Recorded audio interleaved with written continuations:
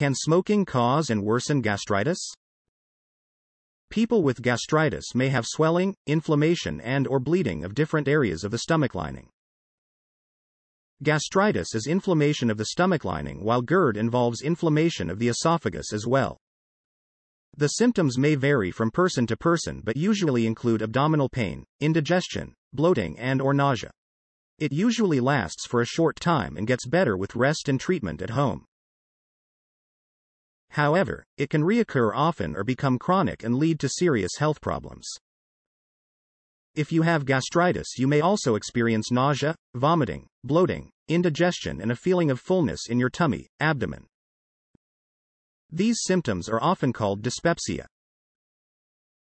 The most common causes of gastritis include H. pylori infection, which is linked with chronic atrophic gastritis.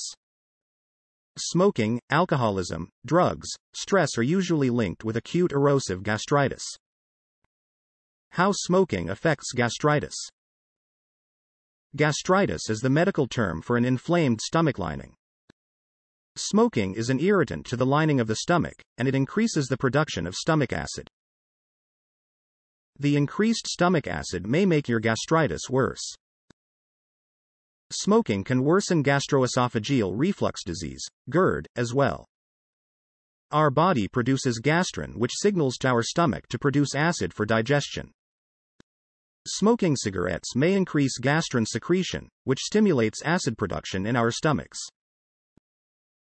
This leads to more damage to our mucosal lining of the stomach. Smoking also causes a gastric ulcers which means severe damage to the lining of the stomach caused by decreased blood flow to this area from nicotine narrowing blood vessels. Smoking is also a risk factor for developing non-cancerous stomach problems, such as peptic ulcers and reflux disease.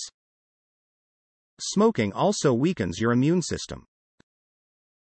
Smoking is a major risk factor for developing stomach cancer.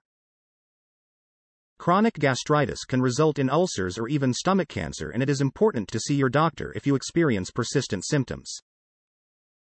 Your doctor will diagnose gastritis by taking a medical history and doing an exam. You may need tests such as endoscopy, camera down the throat, to get a better look at your stomach lining. Lifestyle changes also may be recommended to help reduce your symptoms, including avoiding alcohol and smoking and certain foods that may irritate your stomach lining.